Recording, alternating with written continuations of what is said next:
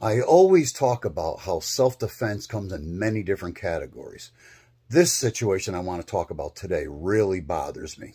I've been talking about it for many years in the rape prevention seminars that I teach.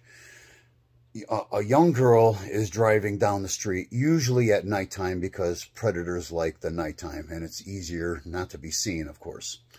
Well, they hit the back of your bumper um, it doesn't have to be a hard hit. They just hit it enough to just make you stop. You get out like you're supposed to in a, in a car accident. You're supposed to leave the scene of an accident, right?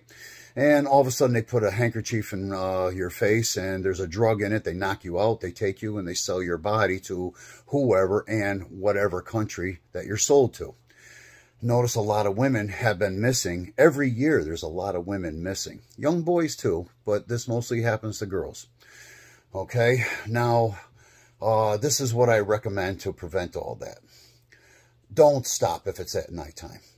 Uh, drive to the police station. That's your best bet. Call the police on the way. If you're in a neighborhood you don't know, well, you could ask Google or whatever phone you have, ask whoever, and uh, tell them to set you up on the to the nearest police station on the maps, and then call them on the way. The police will understand. You will not get arrested for leaving the scene of an accident. Most of them will understand. Hopefully, even the guy that hit you will understand. He's not going to call the police. He hit the back of your car. so he's probably thinking he got away with something if it's a, a legitimate situation. Don't be a victim, though. This happens too often. And don't take the chance. Always go to the police station. Don't stop. I can't say that enough.